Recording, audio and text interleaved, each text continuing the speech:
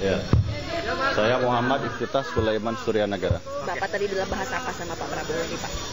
Eh, jadi begini, tadi beliau memanggil saya, kemudian saya mewakili Partai Demokrat yang diminta kesediaannya oleh beliau untuk membantu beliau di kabinet. Spesifiknya bidang apa Pak? Atau Eh, pembahasan spesifik?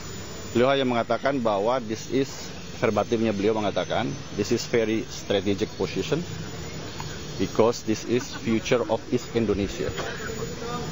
Kemudian eh, beliau juga membutuhkan eh, latar belakang militer untuk duduk pada posisi itu.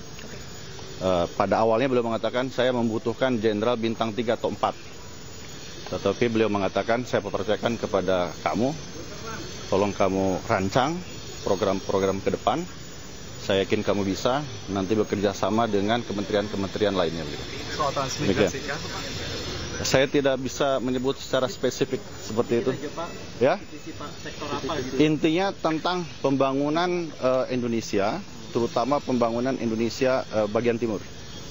Eh, beliau ingin bahwa adanya pemerataan pembangunan tidak hanya berada di barat di sektor barat begitu Indonesia bagian barat tetapi juga di sektor Indonesia timur terutama terkait dengan eh, misi beliau eh, pertumbuhan ekonomi di atas 8%. Jadi membutuhkan sinergitas seluruh kementerian dan di seluruh sektor di seluruh wilayah.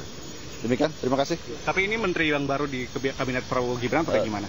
Tunggu nanti beliau biar yang mengumumkan sendiri. Terima kasih. Visinya dong Pak, baru Terima berarti, kasih, Pak. terima kasih. Pak.